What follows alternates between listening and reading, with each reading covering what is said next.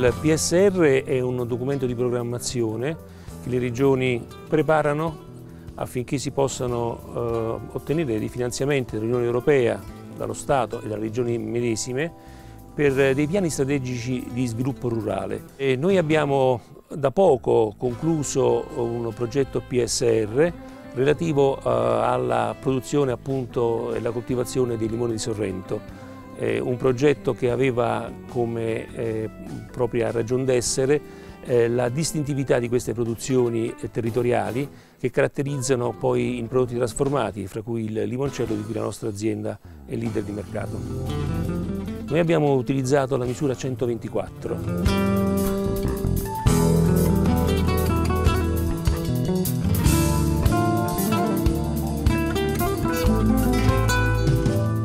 Noi abbiamo individuato un progetto che abbiamo definito PIL, Progetto Integrato Limone, ed è un'innovazione tecnologica nella coltivazione del limone di Sorrento, consiste nell'utilizzo di eh, bioformulati del tutto naturali che garantiscano alla pianta una difesa immunitaria contro gli organismi patogeni. È una innovazione trasferita appunto nelle nostre colture che ha consentito di eh, avere ottimi risultati in eh, tema appunto di eh,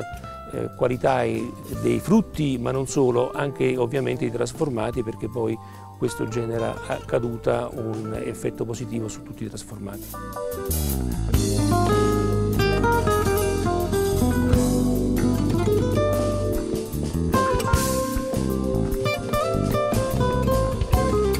Abbiamo collaborato con l'Università di Agraria della Federico II di Napoli, poi noi siamo stati come Villa Massa l'azienda capofila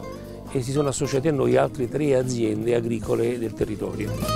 Il progetto VIL è costato intorno ai 493 mila euro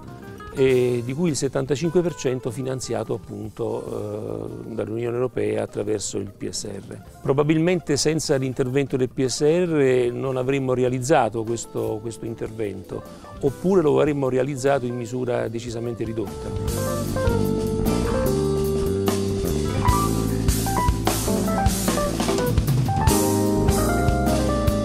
Le difficoltà sono anche nella poca capacità dal punto di vista proprio culturale delle aziende agricole di aggiornarsi e di fare rete tra di loro. Eh, naturalmente ci sono i soliti problemi burocratici, ma sostanzialmente dovrebbe passare l'idea di un'agricoltura un po' più eh, compartecipata dal punto di vista delle realtà produttive del territorio in modo da poter effettivamente trasferire eh, a tutta la filiera, a tutto il settore, le innovazioni che vengono sperimentate da alcuni pionieri.